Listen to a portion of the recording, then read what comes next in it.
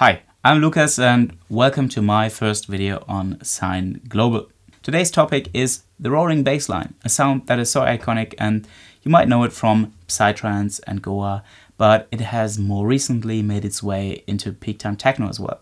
I'm going to show you that iconic sound in Ableton using Ableton's Wavetable synth.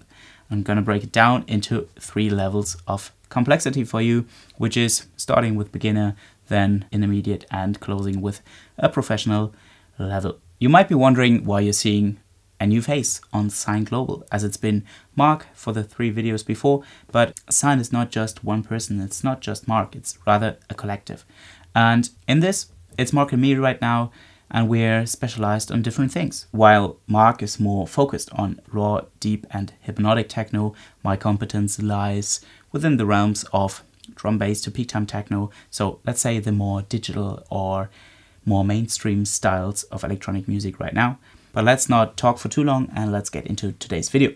As we can see, our stereotypical rolling bass line consists of just 16th notes. So we have two bars of 16th notes and I'm gonna interrupt with a mixing issue already because you want your bass to make space for your kick drum. And we can do that by just leaving out every first 16th note of every beat and ta-da, we have space for our kick drum to hit and so they don't interfere with each other. When I'm resampling my kick drum now, I made sure for it to not be longer than one eighth note. With your bass line in place, your kick drum should not be longer than an eighth note because otherwise they would run into each other and fight for the very limited space in your low end. Also, which notes you pick in your bass line is really important because there's a certain range of notes in that low zero octave area that have good bass response. And that area ranges from D sharp, E flat to A. Everything above is too weak, everything below is inaudible. So picking the G is right in the middle of that sweet spot for good bass response. You also want to make sure that your bass note that you pick in, which is going to be the root note of your track, fits the tuning of your kick drum. Let's pick our instrument. I'm going to use Ableton's Wavetable. By the way, you can obviously pick every other VST synth, soft synth, because the moves we're making are super easy. You can do that in every other synth. I just chose to, to use the wavetable because it's quite visual and I like that. First move is to set it to mono and we pick a saw wave. Then let's get into the amp envelope, set the attack quite low and the release time at around 10 milliseconds. We get into envelope 2 and we're going to map that to our filter frequency. So to assign that, we have to highlight the frequency and just get in between envelope 2 filter 1 frequency and map that to 55% in the positive. Let's lower the filter frequency to around 200 Hertz and by going into envelope 2, we're to set the sustain to 0, release time to 10 milliseconds again, and decay time can be quite tricky to find and to get right. So what you might want to do is measure 1 16th note in your track, in your host tempo, and by hovering your mouse over it, you can see down here in that lane that it says duration 111 milliseconds. And that might be your starting value for your decay time at your filter envelope. Let's give it a listen.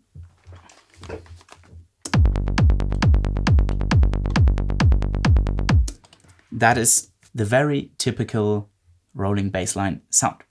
This could be level one for now. From now on, we're just gonna tweak. We're gonna tweak the parameters that we mapped in the synth, and we're gonna map our MIDI parameters. Let's start with the synth. We're gonna add some resonance to it.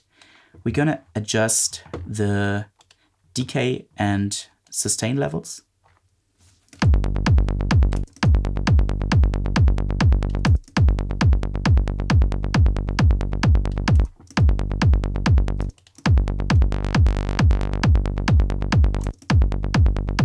as well as a filter frequency.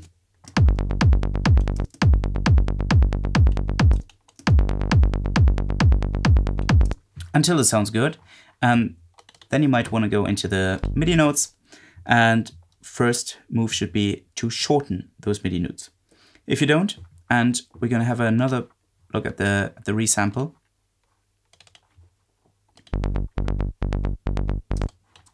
You're going to see that those are interfering with each other because those last wave cycles are not fully finished and not, not fully faded out. So as you can see here, they're destroying the next transient in that moment. So you want to make sure to avoid that. And you can do that easily by just shortening your, your MIDI notes. Let's have a look. That looks pretty promising. We can go a bit longer still, just so they don't run into each other. Yeah, that looks nice, as long as it sounds good as well. If it sounds too choppy, you can always counter that with, yeah, extending your release time. That gives you a bit more control by doing it in the synth with all the parameters than just have that on random by the notes connecting to each other. Level 2 is all about variation. So another thing we can variate is going into those 16th notes that we have so far and maybe add some variations. An eighth note here, maybe some 32nd notes here. And we can also bring back our first downbeat 16th notes. And we still want to keep that space that we made for the kick drum, but we can leave that by just transposing it up an octave. So that note that sits on top of the kick drum is not playing in the low end, but rather in a higher register.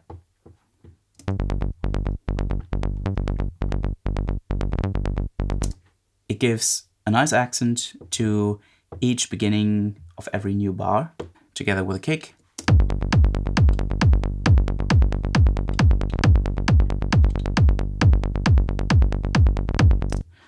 Another parameter that you can vary is the velocity. And you can add some nice accents to that. But you can also use it for mixing purposes by reducing those second 16th notes in every beat, because those are the ones that are still interfering with the kick drum. And that is quite some natural reaction to the kick just fading out and the bass line coming in.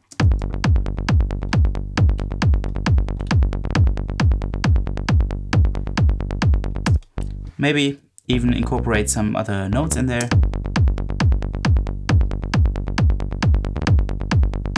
So that is pretty much level two. Make it unique, make it your own.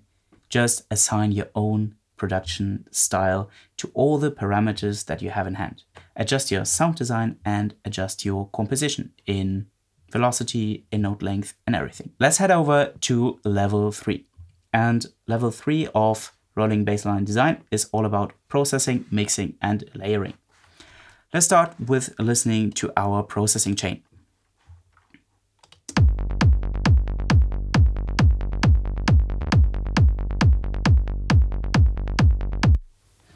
Let's compare it.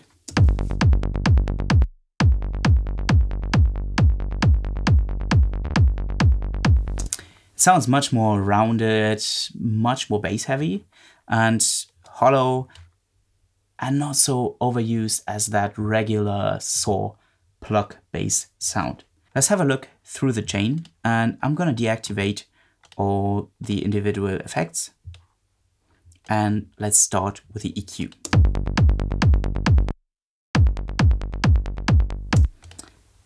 That adds some cut to the high end as well as some attenuation to the lower mids. And those just give space for the knock of the kick drum and for all the other instruments that are going to be playing in our track. And they're all going to be sitting in that area. So we're dialing back down with the bass and leaving some space for other instruments. We're heading over to the saturator. That is quite heavily driven and clipping. But as you can see, it's only dialed in to about 40%. Um, That is just for warming up the lows, creating some harmonic overtones, smearing the transient and taking off some of that percussive nature of the sound. That is followed by another EQ, taking some care of the mid and a compressor. That is, 50% dialed in, the drum full parallel, preset from Ableton, and that serves just to keep the dynamics in place. Last in chain, before we're getting to the LFO tool here, is the auto filter. And the auto filter, again, takes care of the high end and shaves off some of the highs.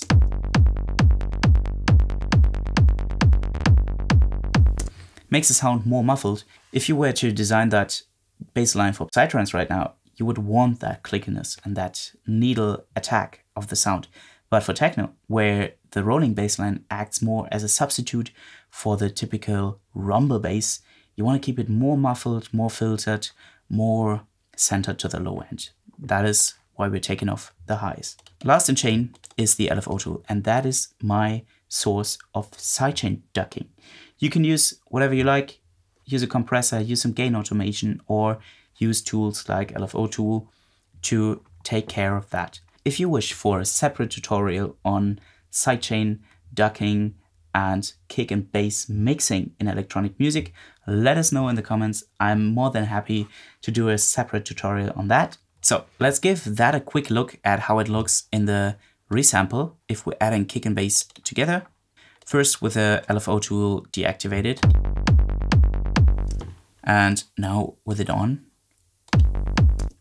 And as you can see now, this is the, the new version and this is the old. That looks much more messy than what we just did. So by using that sidechain ducking technique, just cleans up our low end and leaves a bit more headroom in our mix. Last but not least, we're gonna add some layering. And I prepared another layer that we're gonna add in by just duplicating our MIDI line. And that's how it sounds.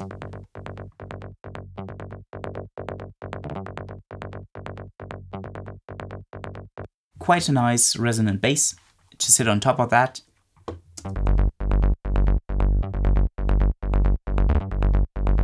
Those blend super nice together and it adds a bit more of a unique feel to it, a bit more of a unique timbre to the sound and it's not so stale and not so overused. So make your rolling bass line unique by adding some layer that can be just any preset that you like. Just cut the bass, make it sit on top, and you're good to go. Let's give the entire track a listen. And that track is a project file stemming from our Peak Time Techno production suite, which you can get in our shop.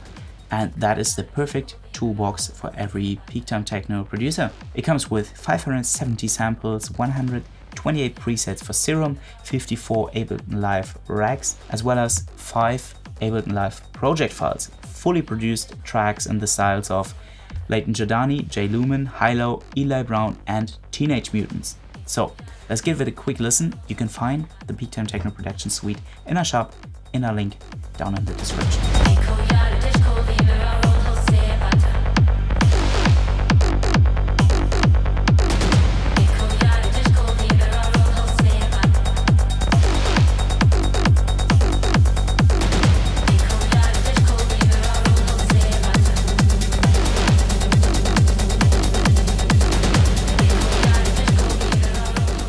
That is it.